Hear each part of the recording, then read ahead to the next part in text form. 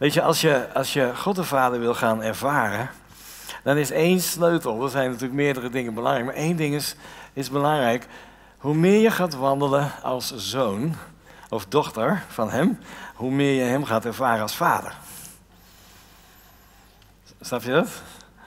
Hoe, hoe meer, sommige mensen wandelen niet als zoon of dochter van, van God de Vader, nauwelijks, ver weg, gaan hun eigen gang, allemaal dingetjes. En, en zullen dan soms zeggen, ik voel God zo weinig, ik ervaar Hem zo weinig. Kan het, kan het zijn dat de Heer wil helpen om te wandelen als zijn zoon, als zijn dochter? Uh, waar ik zeg zo, weet je wel, de damesdochter, hè, dat snap je wel. De mannen moeten ook de bruid van Christus worden, dus je snapt het zo, hè.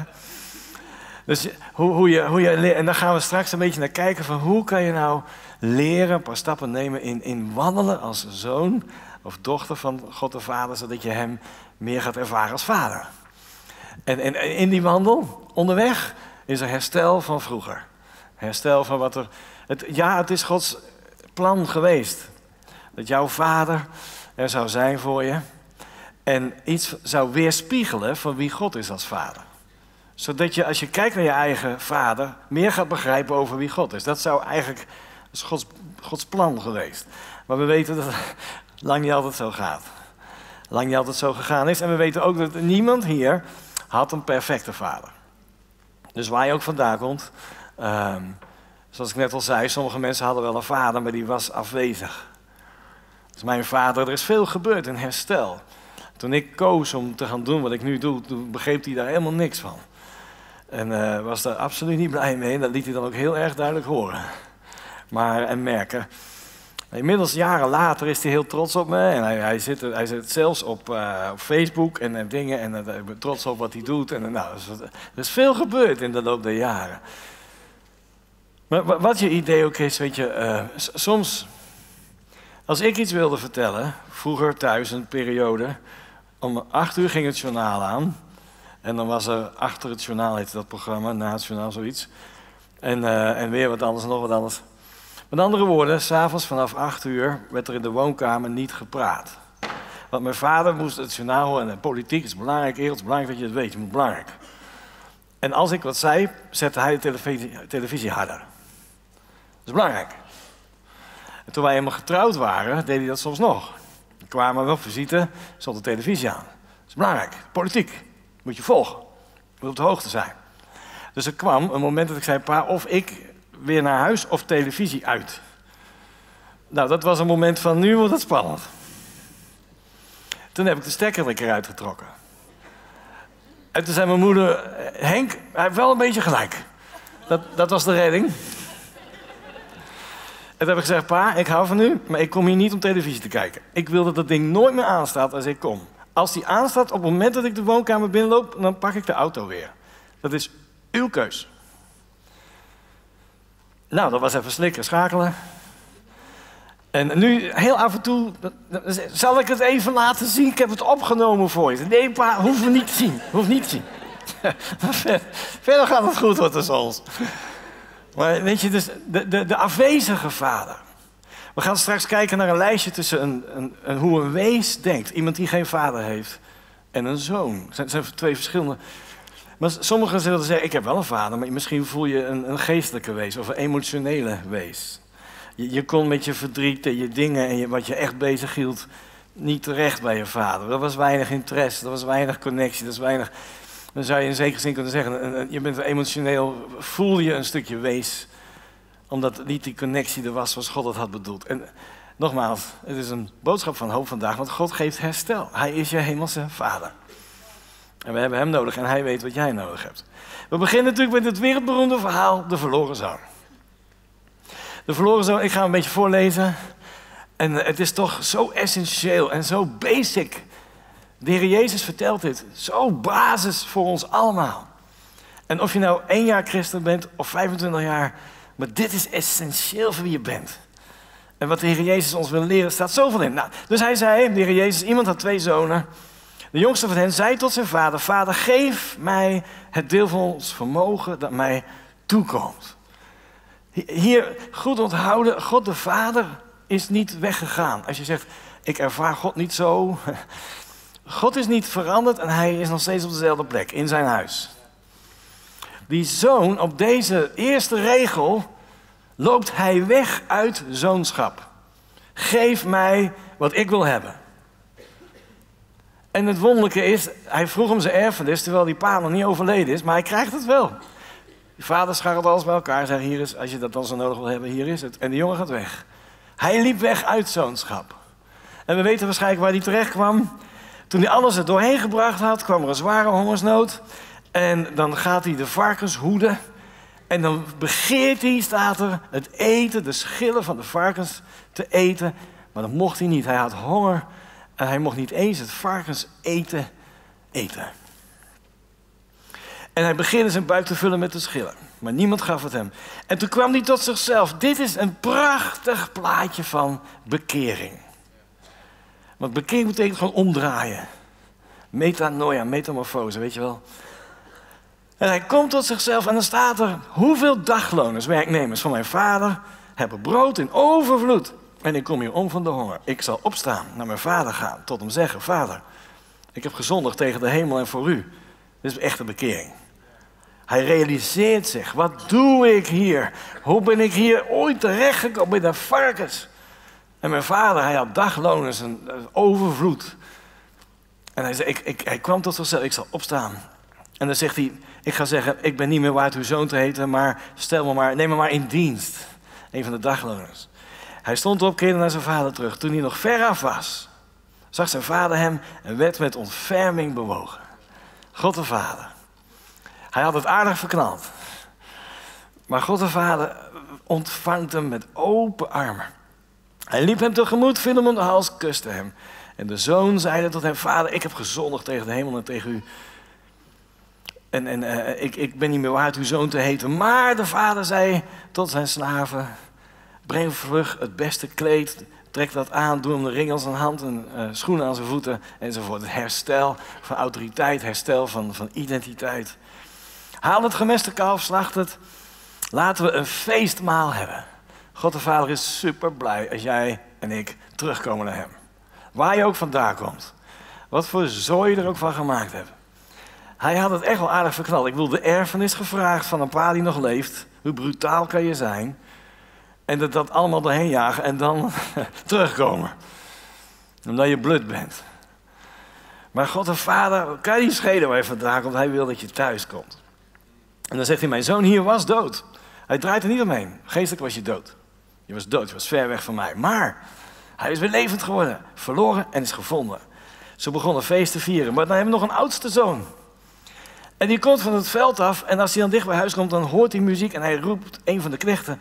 Wat is daar aan de hand? En toen zei die knecht. Uw broer is gekomen en uw vader heeft het gemeste kalf laten slachten. Omdat hij hem gezond en wel terug heeft. Maar die oudste broer, die wandelt ook niet in zoonschap. Let maar op. Hij werd boos en wilde niet naar binnen gaan. Toen kwam zijn vader naar buiten en drong bij hem aan. Kom naar binnen, zo, weet je wel zo. Maar hij antwoordde en zeide tot zijn vader... Zie, zoveel jaren heb ik in uw dienst gestaan. Hij praat als een dienstknecht. Niet zoveel jaar ben ik al uw zoon. Zoveel jaar heb ik al in dienst van u gewerkt. Hard gewerkt voor uw boerderij, zoiets. En ik heb uw gebod nooit overtreden. Dat is maar de vraag. Maar gij hebt me nog nooit een geitenbokje gegeven om met mijn vrienden een feestje te vieren. We hebben nog nooit iets aardigs voor mij gedaan. Wat een bitterheid, wat een afstand. Hij was dan wel in het huis, maar was ver van Gods hart, Gods vaderhart verwijderd.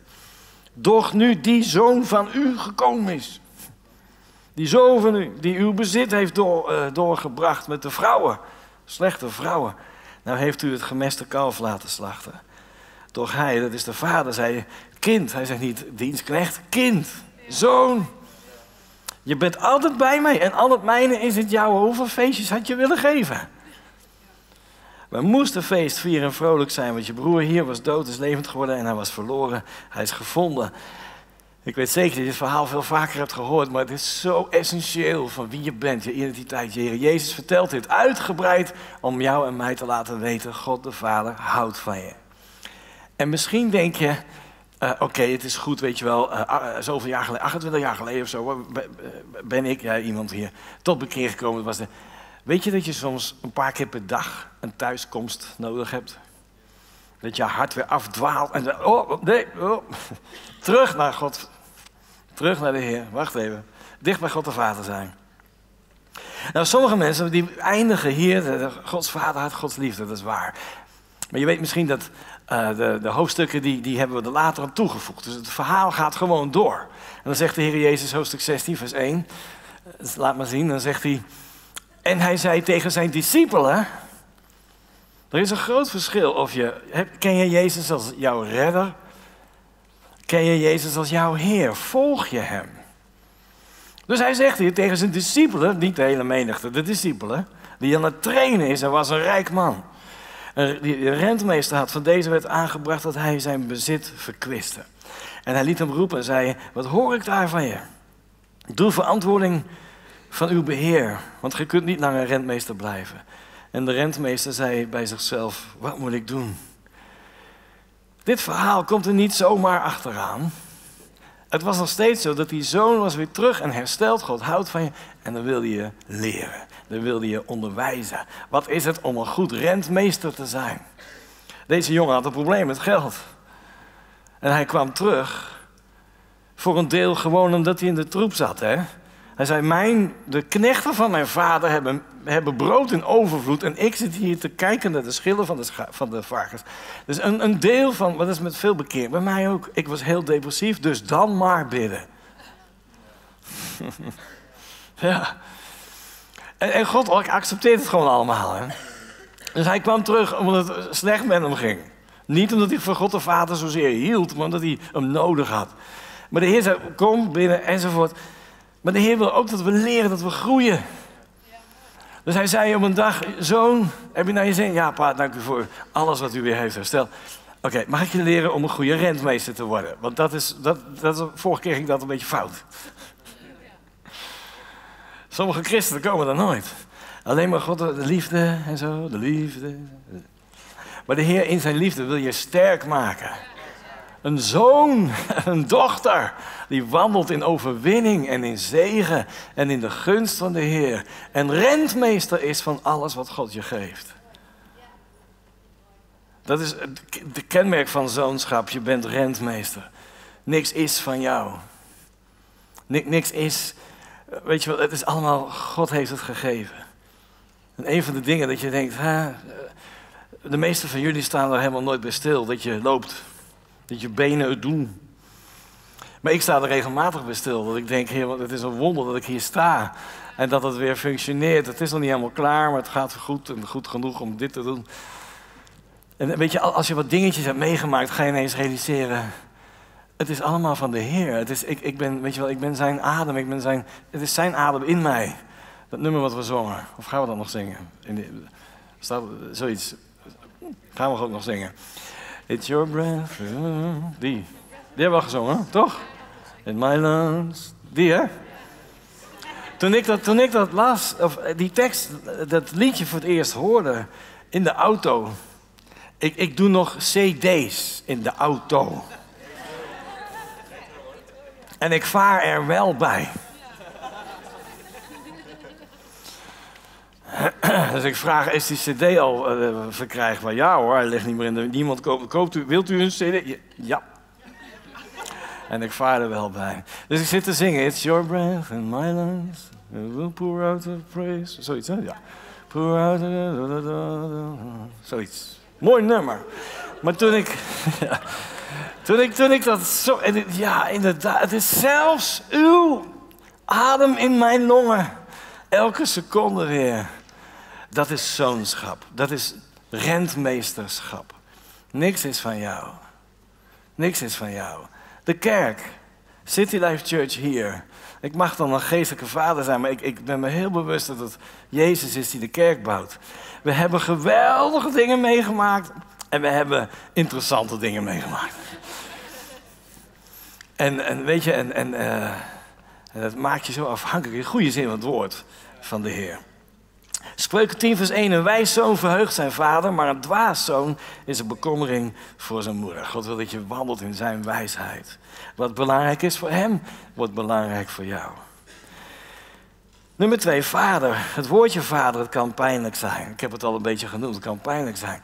In Matthäus 6, vanwege de, de herinneringen of de, waar je aan denkt. Matthäus 6, vers 32. Wees erom niet bezorgd, zeg niet wat zullen we eten of drinken. Want uh, daarmee, waar wij zullen ons kleden, want al deze dingen zoeken de heidenen. Uw hemelse vader weet immers dat je al die dingen nodig hebt. God is goed, hij weet wat je nodig hebt. En staat in Psalm 68, vers 6, hij is de vader van de wezen en de rechter van de weduwe. God is een heilige woning. God die de eenzame in een huisgezin doet wonen. Die gevangenen uitleidt in voorspoed. God die wilde, hij zorgt ervoor. Ik weet niet of je dat al deed. Een deel van het wees zijn, niet, niet de vader genoeg hebben gehad die je zou willen hebben. Is natuurlijk dat, en het gezin en, en je broers en zussen en alles wat ermee te maken heeft. God zegt, degene die dat niet hebben, ik breng ze in mijn huisgezin. Een deel van het antwoord is de kerk, is, de, is je connectgroep. De, de kleinere groep waar je wat verder en dieper kan gaan. De vriendschappen die je bouwt hier in Gods huis. Het, is in zijn huis. De Heer zegt het. Hij is de vader van de wezen. En ik zei net al, je kan wees zijn terwijl je vader leeft. En je voelt gewoon, er zo weinig interesse, zo weinig connectie, zo weinig. En, en, en, en je, de, Heer ziet dat. Er zijn ook mensen die echt wees zijn. Die misschien, sommigen hier weten misschien amper wie hun vader eigenlijk is. Je ziet soms die televisieprogramma's waar iemand alles doet. Alles. Op alles zet. Kosten nog moeite worden gespaard om maar te ontdekken, uit te zoeken. Wie is nou mijn vader eigenlijk? Leeft hij nog? Waar is hij? Het is zo'n uh, roep in je hart. En hij is de vader, God is de vader van de wezen, de rechter van de weduwe. God in zijn heilige woning, in zijn huis. God die eenzamen in een huisgezin doet wonen. In Efeze 6, vers 4 staat dat: Vaders, maak uw kinderen niet verbitterd, maar vorm en vermaan ze bij het opvoeden. Er staat in Colossense 3, vers 19 ook: Vaders, vers 21, sorry, fit niet op uw kinderen, maakt ze moedeloos. Wij als vaders hebben zo'n belangrijke rol in, de, in, in het ontwikkelen van, je, van jouw kinderen. En, en God heeft het zo bedoeld dat er heel veel veiligheid, zeker de eerste paar jaren van een kinderleven, je kan dat noemen basic trust. Het vermogen om te kunnen vertrouwen. Hoe veilig waren jouw eerste jaren in je leven?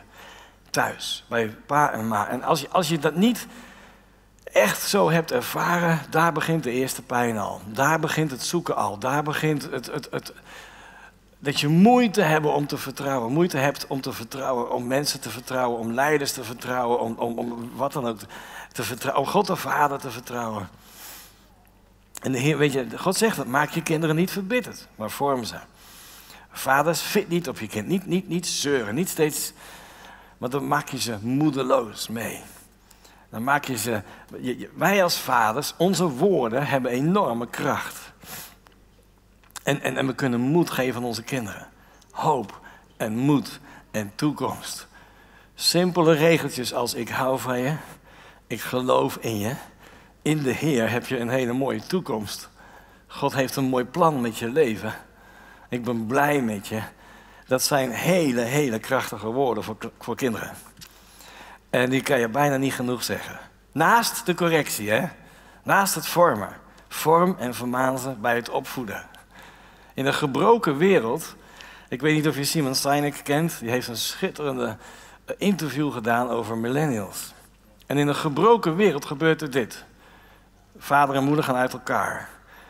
De kind blijft bij de moeder bijvoorbeeld. Maar de moeder voelt zich schuldig omdat ze ergens aanvoelt: ik, ik kan mijn kind niet geven. Wij hebben mijn kind niet kunnen geven wat we hadden willen geven. Een veilig huis. Misschien is er ruzie geweest in de echtscheidingtijd. Eh, van alles. Misschien is er verraad geweest. Dat pa met de ander of ma met de ander er vandoor ging. Of wat, wat pijn, pijn. Kind blijft in, bijvoorbeeld bij de moeder thuis. Maar de moeder voelt zich vegens schuldig over wat er allemaal is gebeurd. En durft het kind bijna niet te vermanen. Want zij denkt, ja, wie ben ik om een, om een kind te gaan vertellen hoe je het moet doen? Moet je kijken naar mijn eigen leven. En zo groeien kinderen op en die horen alleen maar, je bent geweldig, fantastisch, heel goed, fantastisch. Werkelijk. Als je het kan bedenken, kan je het doen, helemaal geweldig. The sky is the limit. De wereld is yours. En dat is natuurlijk niet helemaal waar. En dan komt zo'n kind in en die groeit op en die gaat werken bij een, bij een baas. En dan krijgt hij ineens een rooster en je moet op tijd zijn. En waar zijn de resultaten? En wat krijgen we nou? Als je begrijpt hoe dit werkt, dan snap je, oh, oké. De Bijbel zegt, elke zoon die hij lief heeft, God de Vader, die, die tuchtigt, die corrigeert hij.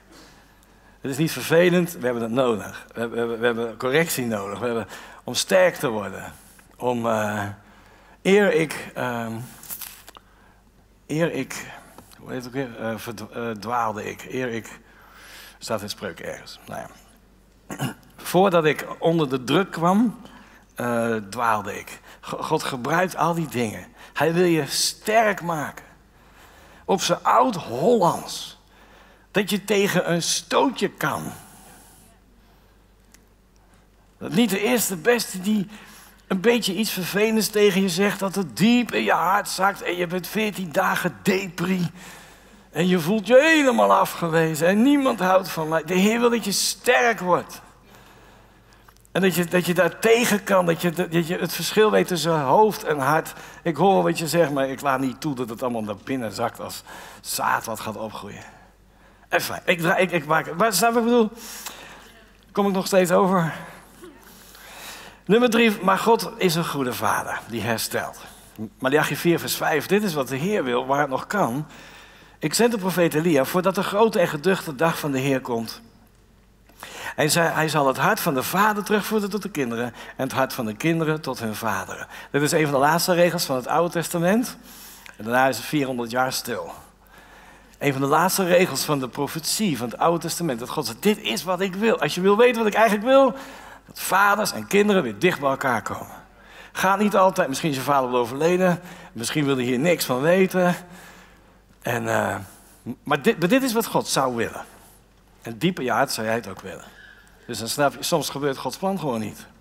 Hij heeft het goed bedoeld. Maar de mensen maken er af en toe een rolletje van. En daar zijn we zo'n slachtoffer van. Maar dit is wat de Heer We gaan kijken naar een goed voorbeeld in Genesis 35. Een vader, in dit geval Jacob, vader Jacob. En die, die had een ontmoeting met de Heer aan de Jabok, aan de rivier. En hij bad, Heer, ik laat u niet gaan, tenzij u mij zegent. Hij had een heleboel rare dingen uitgespookt. Die Jacob, bedrieger enzovoort. Maar, maar dan, puntje bepaald, is toch, Heer, ik heb uw zegen nodig. God zegent hem en dan vind je hem hier terug in Genesis 35. Daarna zei God tegen Jacob, sta op, ga naar Bethel, het huis van de Heer. Ga daar wonen en maak daar een altaar voor de God die aan u verschenen is toen u vluchtte voor uw broer Esau. Dus toen zei Jacob tegen zijn huisgezin, hier zie je de vader opstaan, in de goede zin van het woord, het voorbeeld. En tegen alle die bij hem waren, doe de vreemde goden die uit je, in je midden zijn weg. Reinig je, wissel je kleren, laten we opstaan en naar Bethel gaan, het huis van de Heer. Daar zal ik een altaar maken voor de God die mij antwoordde op de dag toen ik in nood was en die met mij geweest is op de weg die ik ben gegaan. Dus een vader die zegt tegen zijn gezin: Kom, we gaan naar het huis van de Heer. En, en, en dan vraagt een kind: Moeten we elke zondag naar de kerk? Waarom dan? Dan zegt pa: Omdat God goed voor mij geweest is. Toen ik het moeilijk had, was hij daar voor mij. Toen ik verkeerde fouten maakte, heeft hij herstel gebracht. Vroeger, ik hoop dat je het nog goed kan herinneren, Lydia, maar vroeger heb ik verschillende keren aan de eettafel verteld: Jullie vader, papa, was heel depressief wilde eigenlijk stoppen met het leven. En het is dankzij de Heer dat ik leef. Hij is goed voor mij geweest. Hij heeft me hoop gegeven. En ik had me voorgenomen, ik ga dat af en toe vertellen aan de tafel of op andere momenten, zodat ze altijd begrijpen, alles wat mijn vader doet in de rol, deze rol, is uit dankbaarheid voor wat God heeft gedaan voor hem. Als een vader gaat vertellen wat God heeft gedaan voor hem aan zijn kinderen, dan ben je goed bezig. Heel goed bezig. En dan kijken ze naar pa zijn ze trots op hem. De moeder is trots op je, want jij als vader neemt de leiding en brengt je gezin in het huis van de Heer en in zijn zegen. Ja toch? Het is het eh, Rembrandtjaar. Het Rembrandtjaar. En uh, ik heb een fotootje van Rembrandt. Het is 700, 700, waarom is het eigenlijk het Rembrandtjaar? 750 jaar Rembrandt of zo? Nee, toch? Nee, zo lang niet. Die man leeft in 1600 zoveel. Um, 250 jaar? Iemand een idee? Waarom is het dit jaar het Rembrandtjaar? Niemand die het weet. Nou, jullie zijn wel echt cultuurbarbaren. Het is het Rembrandtjaar, dames en heren, dus ik heet u altijd welkom bij dit schilderij van Rembrandt, De Verloren Zoon, de thuiskomst. Het is een beetje donker. Rembrandt schilderde vaak donkere uh, portretten. Heel veel dingen uit de Bijbel trouwens. En e-, een van de dingen die je hier ziet, staat ook op Google als je kijkt op, uh, op dit schilderij. Is dat hij hier bij de vader twee verschillende handen schildert. Een mannenhand en een vrouwenhand. De, de sterke vader die hem tegen zich aandrukt, aan, aan deze kant, en de moederhand die verzorgend koestert. We hebben allebei nodig. Vind niet wonderlijk van Rembrandt? Hij begreep iets van de Heer. En rechts daarvan staat uh, de, de oudste zoon. Die kan hem allemaal niet zo boeien. En denkt, uh, hoe lang gaat dit nog duren? Oké, ik wil met je kijken nog een paar minuten naar um, een paar verschillen tussen denken als een wees en denken als zoon. Want dit, dit is zo'n belangrijke sleutel. Hoe meer we leren wandelen als zoon, leren denken als zoon en dus niet als wees, hoe meer we God gaan ervaren als vader. Geloof je dat? Dus hier gaan we een paar dingen snel eventjes en we zorgen ervoor, Hanna, dit, dit lijstje kunnen we gewoon doorzetten naar de connect-leiders. Er zijn twee tabellen en, en de, de, tijd, neem daar lekker meer tijd voor om dat dus met elkaar te bespreken.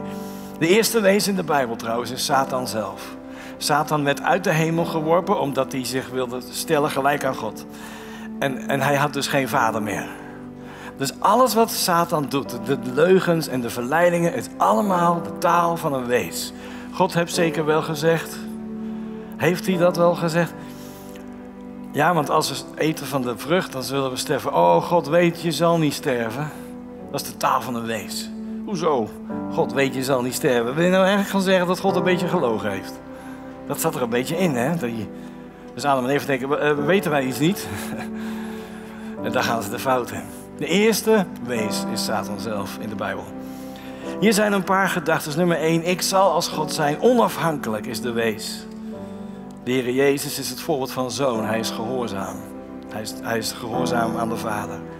Nummer twee, de, de wees leeft zonder thuis. Hij heeft geen thuis. Terwijl de zoon of dochter weet, ik heb een thuis in de hemel. De Heer Jezus zei, ik ga een plaats voorbereiden en dan mag je zijn waar ik ben. Mijn thuis is bij God de Vader thuis. Nummer drie, de wees die dolt altijd, die zoekt altijd. Er is altijd onvrede, omdat hij geen thuis heeft. Waar moet hij heen? En uh, de zoon die heeft rust en vrede en die helpt anderen thuis, thuis te komen bij God de Vader. Nummer vier is een beetje, lijkt er een beetje op. Er is altijd onrust bij een wees. Er is ontevredenheid. Er is onbestendigheid. Er is altijd twijfel. En uh, bij de Heer, als we Hem kennen als Vader, is er rust en zekerheid en toewijding. In een maatschappij waar steeds meer mensen in gebroken gezinnen opgroeien, ga je dit herkennen. Ik ga me nergens aan binden, ik wil daar nog heen en daar nog heen en daar nog heen, ik wil dat nog zien. Ik ga wel solliciteren, maar dan zeg ik er wel gelijk bij: ik blijf hier niet zo heel lang, want ik wil nog heel veel andere dingen doen. Het is de onrust. Kan, kan het zijn, de onrust, het, het zoeken, het, het, nooit thuis. Een wees voelt zich niet helemaal thuis. Niet op de connectgroep, niet in het team. En ik kan altijd uitleggen waarom niet natuurlijk. Een wees voelt zich nooit helemaal thuis in de kerk in het huis van de voelt zich nergens helemaal thuis. Een wees voelt zich niet eens helemaal thuis bij zichzelf. Als je dat begint te begrijpen, denk oh ja, die onrust, dat zoeken, dat dan weer hier en dan weer daar. Dit is kerk nummer 25 en ik had alle 25 kerken wel commentaar op. Misschien lag het niet aan alle 25 kerken. Misschien is er iets in mij wat steeds weer zoekt en steeds weer ontevreden en steeds weer wat anders wil. En steeds weer... Als je hart thuis komt bij God de Vader, ga je al die andere dingen zien. Anders zien. Je ziet God als meester, als een wees. Dienstknecht, je dient hem. Of je ziet hem als je vader, je houdt van hem. En natuurlijk dien je hem, maar met een heel andere motivatie. De wees is dus onafhankelijk, vertrouwt eigenlijk alleen zichzelf. Ik zei het net al, basisvertrouwen werd gevormd in de eerste jaren van je leven. Maar als daar al onveiligheid was in je omgeving, thuis. Als daar al onveiligheid was in, in, in ja, dan is, er, dan is dat vertrouwen beschadigd. En God wil het herstellen. Je weet dat je totaal geaccepteerd bent door de Heer. De wees ziet, nummer 7, autoriteit als, uh, als, als een bron van pijn. Vertrouwt ze niet echt. Nog even wachten, ik heb een paar minuten extra nodig. dat is voordeel van de tweede dienst. Hoop ik voor je dat je dat voorbeeld ziet. Voordeel. Hij, eh, de, hoe wil God denken van zoonschap vormen en herstellen? Als je bidt, Heer, maak me geduldig. Wat doet de Heer dan? Geeft hij een paar moeilijke mensen om je heen. Dan ga jij geduld leren. Je leert niet geduld op je eilandje met een pina colada virgin. Dat is Mathilde's lievelingscocktail. Virgin, voor degene die is alcoholvrij. Daar leer je geen geduld. Als je geloof wil leren, dat doe je niet op je eilandje met je Bloody Mary Virgin. Dat leer je door moeilijke situaties heen te komen en dan groeit geloof. Toch? Kan iemand even ja knikken? Of idee Hoe leer je zoonschap? Ziet je goed? Door onder leiderschap te gaan staan. Dat is de enige manier. Je mag tegen me aanpraten een paar uur lang. Dat is de enige manier. Ja, maar daar heb ik een beetje moeite mee. Dat klopt, dat is je pijn. Nou, maar ik vind mijn leiders niet allemaal even perfect. Nee, ze zijn lang niet perfect. Maar God wil jou helpen om te leren denken als een zoon of een dochter. We gaan zo meteen kijken waarom dat is, want hij heeft een belofte voor je. Snap je hoe dat werkt? Dus de, de zoon die ziet, uh, ik, heb, ik heb leiderschap nodig. Ik heb feedback nodig. Feedback is the breakfast of champions. Als ik wil leren, als ik wil groeien in wie ik ben, moet ik mensen om me heen hebben die feedback kunnen geven. Mensen om me heen die verder zijn dan ik. Die mij kunnen leren, die mij kunnen zeggen: Ereld, mag ik je helpen het wiel niet opnieuw uit te vinden? Die fout heb ik al gemaakt, doe jij dat nou anders? Die mensen, leiderschap om je heen, die jou verder brengen. Dus een wees vindt het moeilijk om correctie te ontvangen, maar de zoon die ziet correctie als, uh, als een zegen. Oké, nummer vijf als laatste. Waarom, waarom is zoonschap zo belangrijk? Je gaat de vader steeds meer ervaren en begrijpen. Maar er is een belofte op zoonschap. Zoonschap, de zonen krijgen de erfenis en het geeft je autoriteit. Lees maar mee, Hebreeën 5. Mozes was trouw in geheel zijn huis als dienaar. Om te getuigen van wat we gesproken hebben. Maar Christus als zoon over het huis. Mozes was een dienaar in het huis. Jezus was een zoon over het huis. Zoonschap geeft autoriteit. Zie je dat? En de laatste, Psalm 2. Ik wil vertellen van het besluit van de Heer. Hij sprak tot mij: Mijn zoon zijt gij, ik heb u heden verwekt. Vraag mij en ik zal je volken geven tot je erfdeel. Dit gaat natuurlijk over de Heer Jezus, maar het is ook een voorbeeld van jou en mij. Zoonschap, je bent echt mijn zoon, zegt de Heer daar. Bent opgestaan uit de dood. Je hebt de, de missie volbracht. Je bent gehoorzaam geweest tot in de dood. Vraag me, jouw, jouw beloning, wat ik je geef, zijn volken. Jij en ik trouwens, een deel van de beloning die de Vader geeft aan Jezus. Zoonschap zet de erfenis vrij. Zoonschap geeft je autoriteit. Zoonschap zorgt ervoor dat je veel dichter bij de Heer gaat leven. Je hem meer gaat ervaren de dingen uit je verleden worden allemaal hersteld en genezen. Je ziet nu het goede voorbeeld. Ik, oké, ik geef dit terug aan de Heer. Soms moet je vergeven en soms komt vergeving uit je grote teen. En je denkt, vergeven? Die man maakt een kletser op dat podium. Hij weet niet wat ik allemaal, weet ik niet, weet de Heer wel. Maar vergeven is teruggeven aan God. Vergeven kan betekenen dat je al je pijn op het gebied van jouw vader, of het gemis, dat je die pijn geeft als een offer aan de Heer. Zeg, Heer, wat, wat, ik, ik, kan, ik geef het terug aan u. En ik vertrouw u dat u daarmee afrekent en daarmee iets doet. Maar ik wil verder. Vrijheid ervaren betekent vergeven. En vergeven betekent vrijheid ervaren. Zolang je niet echt vergeven hebt, zit je vast aan. Terwijl die ander misschien niks door heeft, hè? Misschien is die ander al overleden. Sommige mensen, je hebt nog zoveel pijn van je vader die, die al lang dood is. Geef het terug aan de Heer vrijheid ervaren. In zoonschap gaan wandelen. En anderen helpen om dit te gaan ontdekken. Laten we gaan staan. Ga een moment bidden. Vader in de hemel, dank u wel. dat we mogen praten over u als vader op Vaderdag. Dat u zo van ons houdt. En het is ons gebed dat we u zullen ervaren meer en meer als vader. Help ons te leren denken als een zoon, als een dochter van onze hemelse vader.